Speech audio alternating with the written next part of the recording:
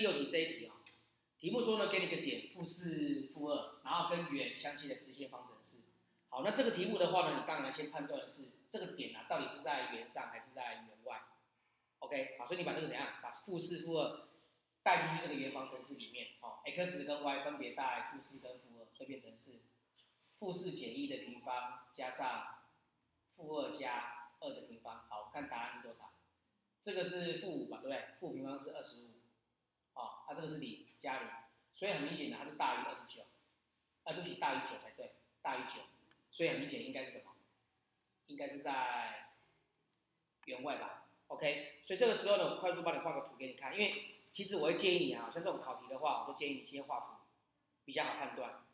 好，那就想嘛，如果一个圆在呃圆外有一个点的话，请问你过圆外点的话的切线应该会几条？是很明显的，应该会要有两条才对，对不对？好，那这怎么算呢？很明显，这个圆呢，呃，圆外这个零知道，这也是负四负二。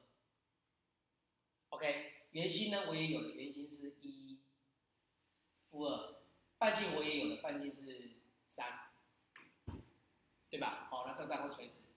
OK，这怎么办？怎么算？好，我们就假设，假设这个直线方程是多少？假设这个直线方程式，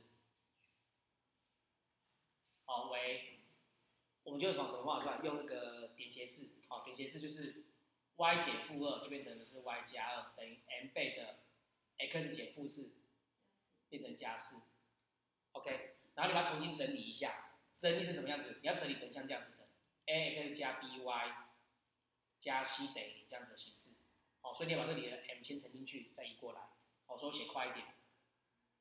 它变成是负 mx 加 y 加二减四等于零，会了哈，因为你的 m 乘以四变 mx 移过变成负 mx，m 乘以四变四 m 移过变成负四 m 这样子，OK，然后接下来怎么办？我们再利用圆心到切线的距离等于半径的方法，会了哈，所以我们找出来，请问你圆心是一负二吧？对不对？好，一负二到这个线的距离，假设这个线是 l 好了，好，到 l 的距离的话，到 l 的距离应该等于半径吧？哦，应该等于三。好，所以我们再用点到直线距离公式，所以多少等于根号来吧。分母的部分应该是 x 跟 y 前面的系数的平方，对不对？好，系数平方相加，所以变成的是 m 平方加一分之好，其中的 x y 就在那里。在圆心一负二，所以变成是 x 带一，负 n 乘以一变成负 n 加 y，y 是负二，所以减二，再加二，减四 m，OK，然后等于多少？等于三吧。好，接下来把它做稍微做一下计算化简，好，所以呢变成是根号 m 平方加一分之这个里负二跟正二是消掉的，负 m 减四也是负五 m，好，等于三。好，那你遇到这种有根号有绝对值的话，我通常建议你是干嘛？两边同时平方，所以变成是 m 平方加一分之二十五 m 平方等于九。会了哈，那接下来怎么办？一分九交叉相乘，所以得到结果是二十五 m 平方等于九 m 平方加九，所以变成是十六 m 平方等于九，所以 m 呢就等于正负四分之三。OK，好，所以你答案呢就求出来了。所以答案应该是这个，谁是答案知道吗？这个是答案，这个，好，这个是你的答案。所以切线方程是多少？切线方程式，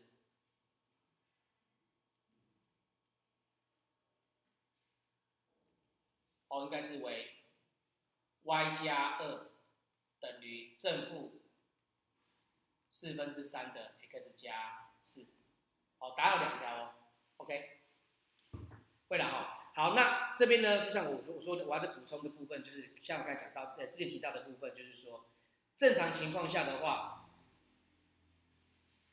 哦，正常情况下，你的圆，呃，你过圆外一点啊，你过圆外一点，哦，照理说应该都要有两条直线才对，对不对？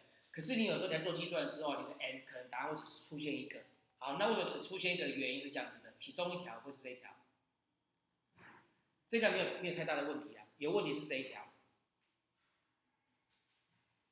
这条所谓的牵直线的部分，哦，所以这个 T 点如果你已经有了，理论上哈不是理论上，实际上你应该会有两条切线才对，好，那如果你 M 如果只只出现一个答案的话，代表另外一条一定是谁？一定是 x 等于某个数字，比如说假设这个点是三八好，好，这个点是三八，那代表这这条线的话一定是谁？x 等于三。